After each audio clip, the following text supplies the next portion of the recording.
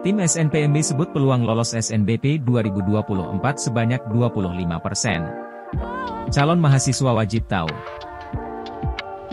Peluang lolos seleksi nasional berdasarkan prestasi, SNBP, 2024 cukup ketat bagi siswa SMA ke SMK sederajat yang sudah mendaftar.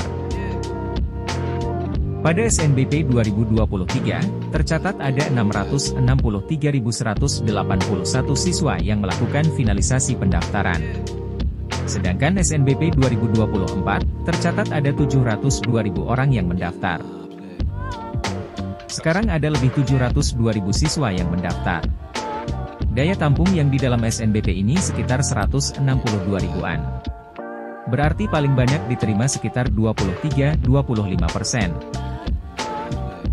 SNBP memiliki seleksi yang berbeda dari jalur lainnya.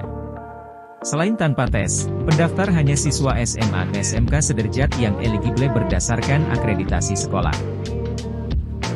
Jika siswa yang tidak berkesempatan ikut SNBP bisa mengikuti SNBT, termasuk siswa yang tidak eligible. Kalau yang tidak SNBP boleh nih mengikuti seleksi yang kedua yaitu SNBT, kata dia. Jika kuota penerimaan SNBT akan lebih besar dari SNBT, yakni setiap PTN bisa menerima hingga 40%.